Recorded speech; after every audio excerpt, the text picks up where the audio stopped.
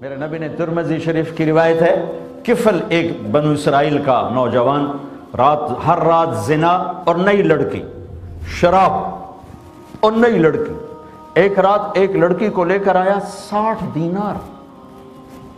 جب کمرے میں داخل ہوا تو وہ رو رہی ہے۔ تو کہنے لگا، کیوں رو رہی ہو؟ میں تمہیں زبردستی تو نہیں لایا؟ تو کہنے لگی، کفل، میں پیشہ ور عورت نہیں۔ میں عزت دار ہوں۔ مجھے بھوک نے یہاں تک پہنچایا ہے۔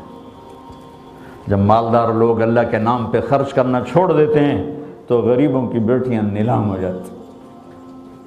میرے اللہ نے کیا عجب بات کہی؟ مجھے اچانک خیال آ گیا۔ اللہ اکبر۔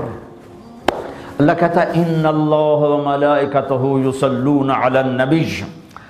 اللہ اور اللہ کے فرشتے اس عظیم الشان نبی پہ سلام پڑھتے ہیں۔ کتنی بڑی بات ہے۔ اور اللہ کہتا ہے، میرے حبیب، یہ جو میرے نام پہ خرچ کر رہے ہیں نا، تو ان پہ سلام پڑھ، وصل علیہم خذ من اموالہم صدقتا تطہرہم بہا وتزکیہم وصل علیہم جو میرے نام پہ خرچ کر رہے ہیں، میں تجھ پہ درود پڑھتا ہوں، تو ان پہ درود پڑھ۔ اللہ اکبر! جہاد کرنے والوں کو نہیں کہا ان پہ درود پڑھ ذکر کرنے والے، حج کرنے والے، عمرہ کرنے والے، تبلیغ کرنے والے تحجد پڑھنے والے، روزہ رکھنے والے، ان کے نہیں کہا میرے نبی ان پہ درود پڑھ۔ کہتا میرے نبی، میں اور میرے فرشتے تجھ پہ درود پڑھتے ہیں، تو ان پہ پڑھ جو میرے نام پہ خرچ کرتے ہیں۔ غریبوں کی بیٹیاں نیلام ہو جاتی ہیں، جب مالدار اپنی زکوٰۃ روک لیتے ہیں، انہیں کہا، کفل عزت دار ہوں۔ غربت نے میری عزت بیچ دی غربت نے میری عزت بیچ دی تو کفر رو پڑا. کہنے لگا میری بہن، جس عزت کے ساتھ آئی تھی، اسی عزت کے ساتھ چلی. جو تمہیں پیسے دیے ہیں، تمہیں ہدیہ ہے. میرے لیے دعا کر، میں بہت کتا انسان ہوں. آج تیرے آنسوں کے توفیل میں توبہ کرتا ہوں. کفل کو نہیں پتا کہ ہونے کیا والا ہے. وہ لڑکی گھر پہنچتی ہے اور پیچھے اچانک کفل مر جاتا اس کو نہیں خبر کہ موت سر پہ کھڑی ہے۔ تو میرے رب کی رحمت اس پر متوجہ تھی۔ ایک غریب کے آنسوں نے اس کو توبہ پہ کھڑا کر دیا۔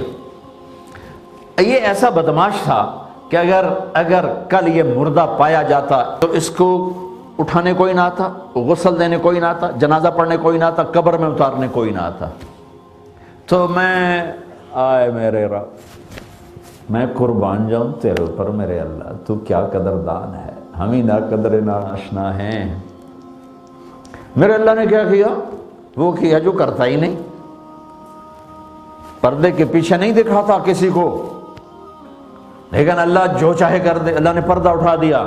جب صبح ہوئی تو لوگوں نے دیکھا، کفل کے گھر کے اوپر بڑا موٹا لکھا ہوا تھا۔ ان اللہ قد غفر للکفل لوگو اللہ نے کفل کو معاف کر دیا ہے۔ جاؤ اس کا جنازہ پڑھو۔ میرا یار بن گیا ہے۔